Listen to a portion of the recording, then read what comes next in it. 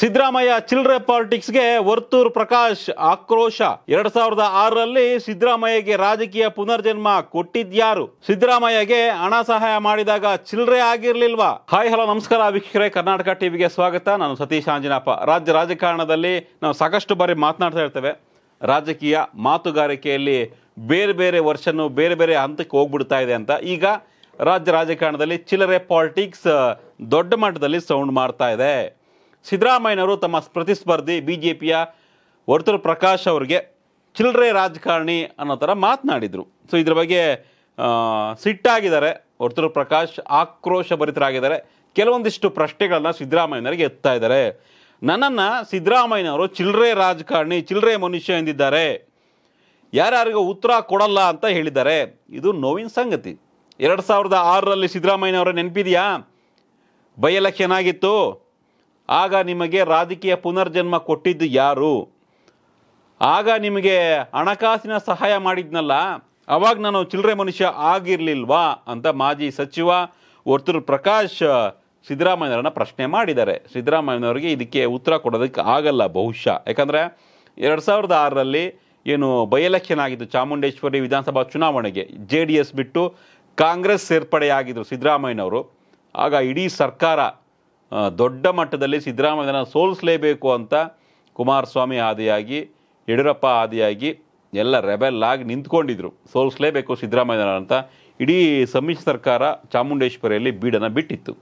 So ಅಂಥ ಸಮಯದಲ್ಲಿ ಕೋಲಾರಿಂದ ಹಿಡಿದು ಬೆಂಗಳೂರಿಂದ ಹಿಡಿದು ಇಡೀ- ರಾಜ್ಯಾದ್ಯಂತ ಸಿದ್ದರಾಮಯ್ಯನವರ ಫ್ಲೆಕ್ಸ್ಗಳ ಜೊತೆಗೆ ಒಂದು ಹೊಸ ಹೆಸರು ಕಾಣಿಸ್ಕೊಳ್ತಾ ಇತ್ತು. ಅದು ವರ್ತೂರು ಪ್ರಕಾಶ್. ವರ್ತೂರು ಪ್ರಕಾಶ್ ಸಿದ್ದರಾಮಯ್ಯನವ್ರಿಗೆ ಎಷ್ಟು ದೊಡ್ಡ ಮಟ್ಟದ ಪ್ರಚಾರ ಕೊಟ್ಟಿದ್ರು ಆಗ ಅಂದರೆ ಸಿದ್ದರಾಮಯ್ಯನವ್ರು ಯಾವುದೇ ಒಂದು ಬ್ಯಾನರ್ ಕಾಣಿಸ್ಕೊಂಡ್ರು ಕೂಡ ವರ್ತೂರು ಪ್ರಕಾಶ್ ಹೆಸರು ಕಾಣಿಸ್ತಾ ಇತ್ತು. ಅಂದರೆ ಅವ್ರಿಗೆ ಸಹಾಯವನ್ನು, ಪ್ರಚಾರಕ್ಕೆ ವರ್ತೂರು ಪ್ರಕಾಶ್ ಸಹಾಯ ಮಾಡಿದ್ರು ಅನ್ನೋದು ಎಲ್ಲರಿಗೂ ಗೊತ್ತಿರ್ತಕ್ಕಂಥ ಸತ್ಯ. ಸೊ ಅದ್ರ ಬಗ್ಗೆ ಈಗ ಪ್ರಸ್ತಾವ ಮಾಡಿದ್ದಾರೆ ವರ್ತೂರು ಪ್ರಕಾಶ್. ಎರಡು ಸಾವಿರದ ಆರರಲ್ಲಿ ನಾನು ಮಾಡಿದಂಥ ಹಣ ಸಹಾಯ ಏನು ಮಾಡಿದ್ದೆ?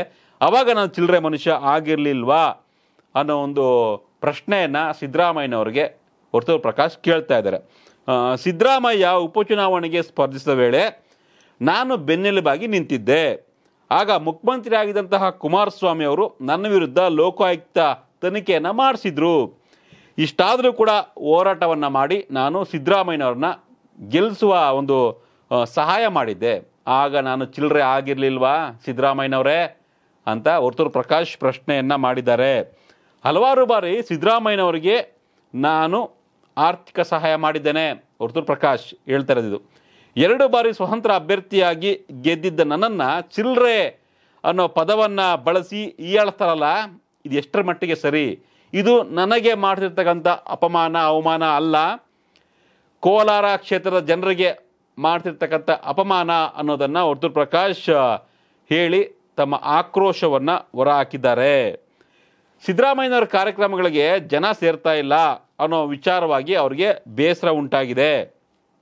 ಹೀಗಾಗಿಯೇ ಕೋಲಾರ ಕ್ಷೇತ್ರದ ಜನ ಅವರಿಗೆ ತಕ್ಕದಾದ ಪಾಠವನ್ನು ಕಲಿತಾರೆ ಕುರುಬ ಸಮುದಾಯದ ಅನೇಕರನ್ನು ಮುಗಿಸಿರುವ ಅವರು, ನನ್ನನ್ನು ಮುಗಿಸೋದಕ್ಕೆ ಅಸಾಧ್ಯ ಸಾಧ್ಯ ಇಲ್ಲ ಅಂತ ಒಟ್ಟು ಪ್ರಕಾಶ್ ಸವಾಲನ್ನ ಹಾಕಿದ್ದಾರೆ. ನೋಡಬೇಕು ಸಿದ್ದರಾಮಯ್ಯನವರು ಏನು ಹೇಳ್ತಾರೆ ಇದಕ್ಕಂತ. ಒಟ್ಟಿನಲ್ಲಿ ಚಿಲ್ಲರೆ ಮನುಷ್ಯ ಚಿಲ್ಲರೆ ರಾಜಕಾರಣ ಈ ರೀತಿಯ ಪದಗಳ ಬಳಕೆ ಅನಗತ್ಯ ಅನಿಸುತ್ತೆ. ಸಿದ್ದರಾಮಯ್ಯನವರು ಮಾಜಿ ಸಿ ಎಮ್ಮು ವಿಪಕ್ಷ ನಾಯಕರು ಅವರಿಗೆ ರಾಜಕಾರಣ ಹೇಗೆ ಮಾಡಬೇಕು ಅಂತ ಗೊತ್ತು.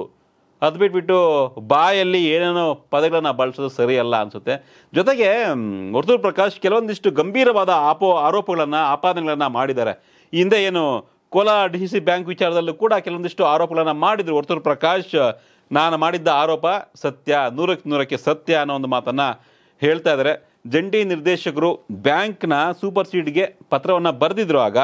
ಈ ವೇಳೆ ಕಾಂಗ್ರೆಸ್ನ ಕೆಲವೊಂದಿಷ್ಟು ಶಾಸಕರು ಬ್ಯಾಲಹಳ್ಳಿ ಗೋವಿಂದೇಗೌಡರನ್ನ ಕರ್ಕೊಂಡೋಗಿ ಸಿದ್ದರಾಮಯ್ಯ ಮನೆಗೆ ಅವರ ಕೈಕಾಲು ಹಿಡಿತಾರೆ ಸೊ ಇದನ್ನ ತನಿಖೆ ಮಾಡೋದು ಬೇಡ ಅಂತ. ಸೊ, ಆಗಿನ ಜೊತೆಗೆ ಈಗಿನ ಸಹಕಾರ ಮಂತ್ರಿ ಆಗಿರ್ತಕ್ಕಂಥ ಸೋಮಶೇಖರ್ ಅವರಿಗೆ, ಎಸ್ ಸಿ ಸೋಮಶೇಖರ್ ಅವರಿಗೆ ಫೋನ್ ಮಾಡಿ, ಈ ವಿಚಾರನ ನೀನು ಬರೋದು ಬೇಡಪ್ಪ, ಬರೋದು ಬೇಡ ಅನ್ನೋದ್ರ ಬಗ್ಗೆ ಸಿದ್ದರಾಮಯ್ಯವರು ಹೇಳಿದ್ರಂತೆ. ಇದಕ್ಕೆ ಒತ್ತೂರು ಪ್ರಕಾಶ್ ನನ್ನ ಸಾಕ್ಷಿ ಕೂಡ ಇದೆ. ಅನ್ನೋ ಒಂದು ಮಾತನ್ನು ಹೇಳಿದ್ದಾರೆ. ಒಟ್ಟಲ್ಲಿ ವರ್ತೂರು ಪ್ರಕಾಶ್ ಸಿದ್ದರಾಮಯ್ಯ ವಿರುದ್ಧ ತಿರುಗಿ ಬಿದ್ದಿದ್ದಾರೆ ಪ್ರತಿಯೊಂದು ಅಂಶದಲ್ಲೂ, ವಿಚಾರದಲ್ಲೂ. ಏನೇ ಹೇಳಲಿ ಅದಕ್ಕೆ ಟಾಂಗ್ ಕೊಡುವಂಥ ಶಕ್ತಿಯನ್ನು ಟಾಂಗ್ ಕೊಡುವಂಥ ರಿಯಾಕ್ಷನನ್ನು ವರ್ತೂರು ಪ್ರಕಾಶ್ ಕೊಡ್ತಾ ಇದ್ದಾರೆ. ಆ ಶಕ್ತಿ ವರ್ತೂರ್ ಪ್ರಕಾಶ್ ಇದೆ ಅನ್ನೋದು ಗೊತ್ತಾಗ್ತಾ ಇದೆ ಅವರ ಮಾತುಗಳಲ್ಲಿ. ನೋಡೋಣ, ಇದು ಯಾವ ಮಟ್ಟಕ್ಕೆ ಹೋಗಿ ನಿಲ್ಲುತ್ತೆ ಚಿಲ್ಲರೆ ರಾಜಕಾರಣ, ಚಿಲ್ಲರೆ ಪಾಲಿಟಿಕ್ಸ್ ನಿಮ್ಮ ಪ್ರಕಾರ ಈ ರೀತಿಯಾಗಿ ಚಿಲ್ಲರೆ ಪಾಲಿಟಿಕ್ಸ್ ಚಿಲ್ಲರೆ ಮನುಷ್ಯ ಈ ರೀತಿಯ ಪದಗಳನ್ನು ಬಳಸೋ ಸರಿನಾ? ನಿಮ್ಮ ಅಭಿಪ್ರಾಯವನ್ನು ಕಮೆಂಟ್ ಮಾಡಿ ತಿಳಿಸಿ. ಜೊತೆಗೆ ಕೋಲಾರ ವಿಧಾನಸಭಾ ಕ್ಷೇತ್ರಕ್ಕೆ ಯಾರು ಎಂ ಎಲ್ ಎ ಆಗಬೇಕು ಅನ್ನೋದನ್ನು ಕಮೆಂಟ್ ಮಾಡಿ ತಿಳಿಸಿ. ವಿಡಿಯೋ ಇಷ್ಟದ ಲೈಕ್ ಮಾಡಿ ಶೇರ್ ಮಾಡಿ. ಕರ್ನಾಟಕ ಟಿ ವಿಯನ್ನು ಇನ್ನೂ ಸಬ್ಸ್ಕ್ರೈಬ್ ಆಗಿಲ್ಲ ಅಂದರೆ ಈ ಕೂಡಲೇ ಸಬ್ಸ್ಕ್ರೈಬ್ ಮಾಡ್ಕೊಳ್ಳಿ. Thank you